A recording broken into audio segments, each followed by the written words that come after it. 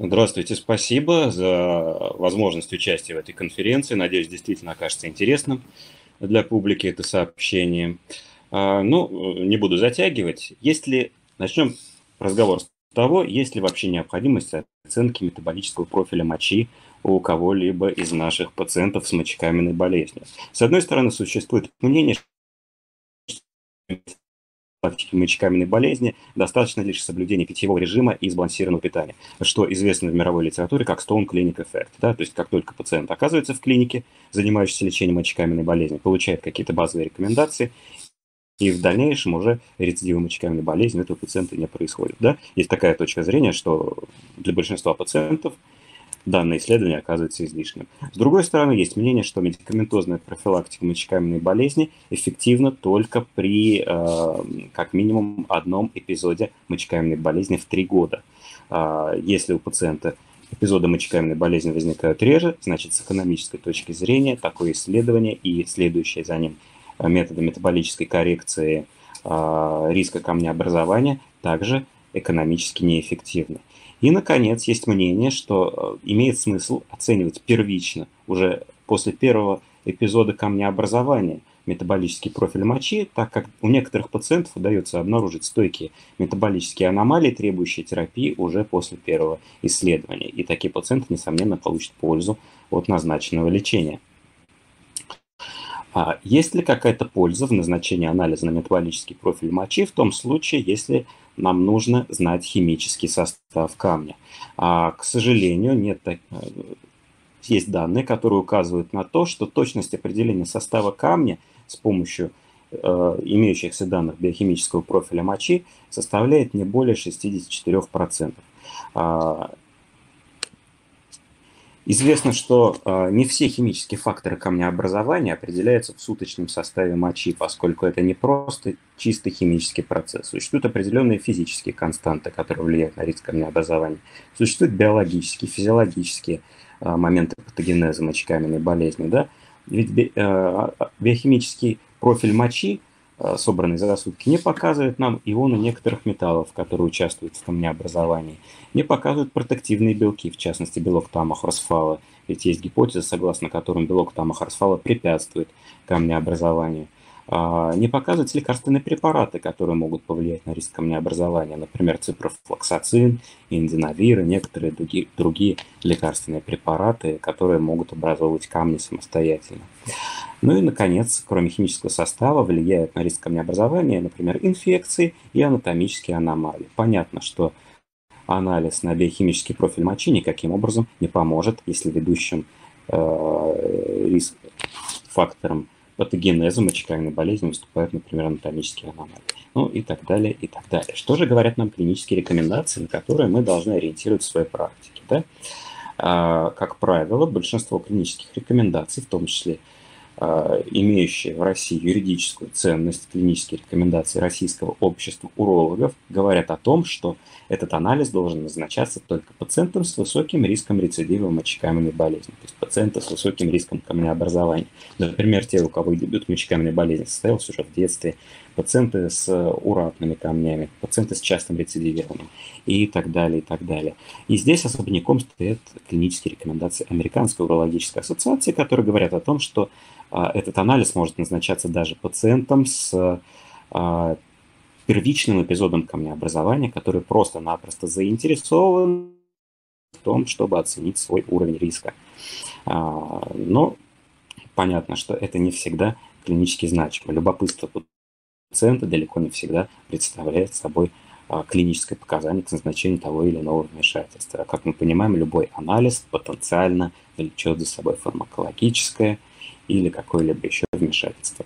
А, Какие плюсы есть у этого анализа, какие минусы?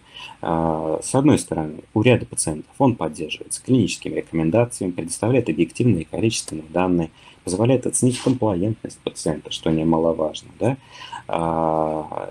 И позволяет ограничить меры метафилактики несколькими ключевыми моментами. Если мы не будем ориентироваться на данные метаболического профиля мочи, просто дадим пациенту стандартный шаблон, как делают в некоторых лечебных учреждениях, да, ограничить мясо, ограничить шоколад, чай и так далее, то пациенту жить не захочется. А если мы обоснуем а, те или иные методы коррекции метаболизма с помощью этого анализа, жить пациенту будет гораздо проще, да, по крайней мере, мы можем на это надеяться. И этот анализ дает надежду на управление этим хроническим заболеванием. С другой стороны, этот анализ надо уметь интерпретировать. А, он не всегда позволяет прогнозировать рецидивы, и даже у пациентов с высоким риском камнеобразования, с неоднократными рецидивами, нередко приходится сталкиваться с ситуацией, когда химический профиль мочи оказывается раз от разу нормальным. И несмотря на то, что такая э, ситуация учтена в американских клинических рекомендациях, там советуют в этом случае эмпирически принимать тиазиды и э, цитрат калия, а все равно эта ситуация является довольно неприятной. У пациента неизбежно возникает вопрос, а для чего он тогда вообще сдавал эту суточную мочу, которую нужно собирать в специальный контейнер, еще и хранить в холодильнике рядом там э, с тарелкой со щами и так далее. Да, это не для всех удобно. Ну и, наконец, стоимость самого анализа и следующей за ним терапии также необходимо учитывать. А, в некоторых ситуациях а, наблюдаются специфические отклонения в биохимическом профиле мочи. Так, например, у пациентов с артериальной гипертензией достоверно установлено снижение экскреции кальция и цитратов. Однако не совсем понятно, с чем это связано с артериальной гипертензией как таковой, или с тем, что часть пациентов принимает, к примеру, э, тиазидные диуретики. А при сахарном диабете отмечается тенденция к большему объему суточной мочи, естественно, да, особенно при не очень хорошем гликемическом контроле, тенденция к меньшей экскреции кальция и магния. Э, меньшая экскреция кальция – это, конечно, хорошо в плане э, снижения риска развития мочекаменной болезни. Но у пациентов с сахарным диабетом существуют другие специфические моменты, увеличивающие риск камнеобразования. У пациентов с ожирением существенно увеличивается суточная экскреция фосфатов – и, наконец, в постменопаузальном периоде значительно снижается экскреция цитратов и магния. Вот, при сахарном диабете с чем связана особенность метаболического профиля мочи? Это связано с тем, что при сахарном диабете так или иначе отмечается склонность к глюконеогенезу. Ну, в том числе и при менее выраженных формах углевод... нарушения углеводного обмена, э, например, при э, метаболическом синдроме, при инсулинорезистентности. И основным субстратом для глюконеогенеза в почке является аминокислота глутамин. Глутамин при метаболизме теряет азот, что приводит к выделению аммиака и ионов водорода в мочу, что приводит к достаточно неприятному феномену образования камней из мочевой кислоты и урата аммония. Как мы можем влиять на метаболический профиль? Это самый главный вопрос, поскольку он определяет то, зачем вообще определять биохимический профиль суточной мочи. Во-первых, мы должны задать себе вопрос, вносит ли диета вообще вклад в патогенез болезни того или иного пациента, какие компоненты диеты приносят вред, можно ли исправить проблему э, с питанием э, в принципе, э, и, наконец, влияет ли вмешательство на риск э, рецидива мочекаменной болезни, если мы уж говорим про уролитиаз. Хотя в целом эта концепция касается любых заболеваний, которые могут быть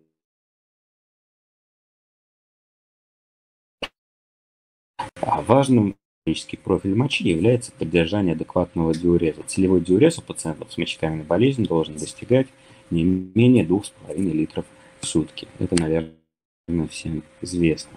Также как ограничение поваренной соли, поскольку натрий приводит к потере и именно от концентрации натрия первичной моче зависит процесс реабсорбции кальция. Поэтому пациентов надо предупреждать о том, что пищу солить нельзя и необходимо ограничить употребление поваренной соли до 2,5 граммов в сутки, а желательно еще меньше. Э, тиазидные диуретики активно применяются у пациентов с гиперкальциурией, э, но, конечно же, их эффективность зависит от вида гиперкальциурии. Если это абсорбтивная э, гиперкальциурия, они, конечно, не оказывают прямого патогенетического эффекта, но все равно замедляют выведение кальция с мочой и способствуют реинтеграции кальция в костную ткань. При ренальной э, гиперкальциурии тиазидные диуретики оказывают прямой эффект, поскольку влияют непосредственно на ту точку, где происходит утечка кальция на и проксимальные и дистальные извитые канальцы. При резорптивной гиперкальциурии, что, не, что очень важно, тиазиды не должны применяться, поскольку лишь усугубляют гиперкальциемию и могут повлиять даже на жизненные функции пациента. А, согласно клиническим рекомендациям Американской урологической ассоциации, пациентам с повышенным уровнем кальция в моче и рецидивирующими кальциевыми камнями следует предлагать тиазидные диуретики. И, как я уже говорил, пациентам с неясной ситуацией, когда в биохимическом профиле мочи изменений нет, а кальциевые камни все равно рецидивируют, также имеет смысл назначать тиазидные диуретики и или цитрат калия. А, Диуретики целесообразно сочетать с цитратом калия. Почему? Потому что они блокируют реабсорбцию не только натрия, но и калия, из-за чего может развиться внутриклеточный ацидоз. Ацидоз нарушает выработку цитрата и способствует ее реабсорбции. Целесообразно назначение дополнительных источников цитрата калия или хлорида э, калия, желательно, конечно, цитрата калия. Одним из возможных источников, существующих сегодня на рынке, является э, биологически активная добавка э, уриклар. Известно, что цитратные смеси и добавки, содержащие цитрат калия, оказывают положительное влияние на а, качество жизни и связанные с рецидивами у пациентов с мочекаменной болезнью, что доказано в плацебо-контролируемых исследованиях.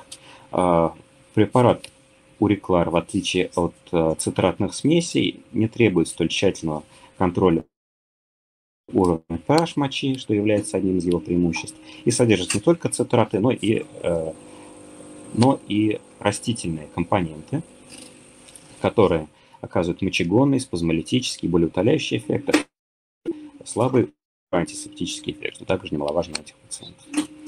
Этот, э, эта добавка способна уменьшать риск рецидива мочеками болезни, может применяться у пациентов с различными по составу конкрементами, снижает интенсивность частоту почечных колик, может применяться конкретно при почечной колике, да, а, и может применяться в рамках подготовки пациента к различным видам дезинтеграции камня с целью его размягчения и облегчения отхождения фрагментов камня, например, после дистанционной ударно-волновой литотрипсии.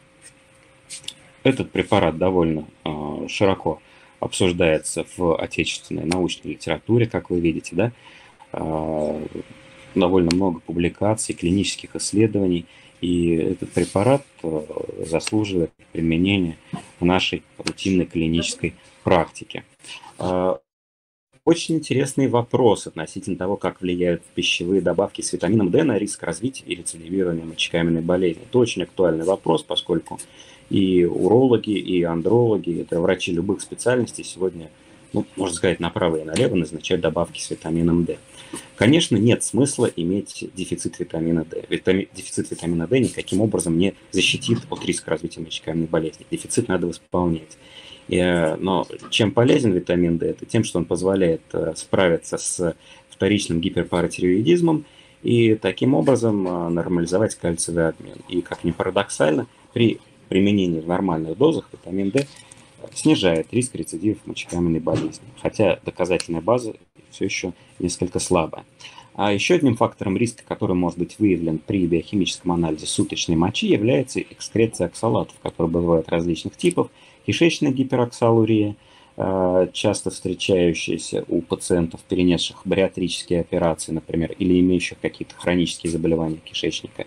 Генетически обусловленная гипероксалурия, которая является очень-очень редкой, и даже в клиниках, специализирующих на мочекаменной болезни, такие пациенты возникают, такие пациенты приходят нечасто. Э, элементарная гипероксалурия связана с избыточным употреблением продуктов, содержащих щавелевую кислоту и ее соли – и, наконец, идиопатическая гипероксалурия, которая выявляется только при биохимическом анализе мочи. А, какие элементарные факторы можно коррегировать? А, во-первых, ограничивать белки животного происхождения, поскольку они несут в себе дополнительную кислотную нагрузку. Зеленые овощи ограничивать, конечно, не стоит, поскольку они в большей степени полезны для здоровья, но имеет смысл дополнять их э, источниками кальция, то есть сочетать с молочными продуктами, например, поскольку в таком случае образуется нерастворимая соль кальция в кишечнике, а не в почечной лоханке, что для пациента, конечно, очень-очень хорошо. Соки цитрусовых оказывают преимущественно положительный эффект за счет содержания цитратов, и в большей степени это касается соков с большей концентрацией калия. Лучше не мучиться и пить лимонный сок, а пить, например, апельсиновый сок, который содержит больше цитрата калия, чем лимонный сок. Таким образом, базовые а, рекомендации для метафилактики мочекаменной болезни включают в себя нормальное потребление кальция, примерно 1 грамм кальция в сутки, низкое потребление натрия, животного белка, умеренное потребление оксалатов, полностью ограничить их, наверное, не стоит. И, наконец, питьевой режим с поддержанием диуреза более 2 литров в сутки. Заключение, метаболический профиль мочи должен оцениваться преимущественно у пациентов с высоким риском рецидивирования урлитиаза. Это не тот анализ, который надо назначать в каждый дом, в каждую семью. Мы должны помнить о том, что существуют эффективные меры воздействия на метаболический профиль мочи, хотя для многих пациентов эффективны и базовые эмпирические методы профилактики. Ну и, наконец, важным оружием в нашем арсенале в борьбе с мочекаменной болезнью являются биологически активные добавки с растительными компонентами и цитратом калия, который является дополнительным а, полезным фактором в борьбе с э, фактором патогенеза мочекаменной болезни. Благодарю вас за внимание.